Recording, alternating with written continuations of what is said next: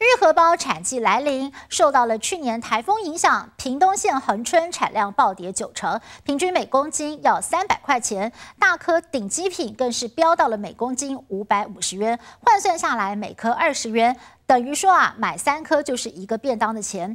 而业者估计，月底产季结束前都会是百元以上的高价，不只是在地人，一般民众想吃，恐怕都不简单。三千几斤，饱满多汁的玉荷包，一颗颗逐渐由绿转红，剥开一颗来尝鲜，口齿瞬间留香。没有，切个几多？几多？二十五度啦。